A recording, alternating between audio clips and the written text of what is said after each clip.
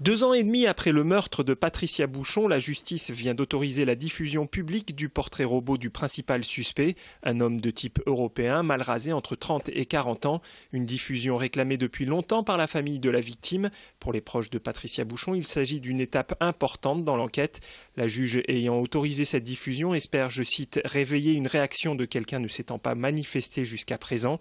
Un numéro vert a été mis en place par la section recherche de Toulouse, le 0800 87 80 32 Ce portrait a été réalisé quelques jours après la disparition de la joggeuse sur la base du témoignage d'un homme ayant croisé vers 4h30 du matin le tueur présumé. Celui-ci se trouvait alors dans une Clio de couleur claire.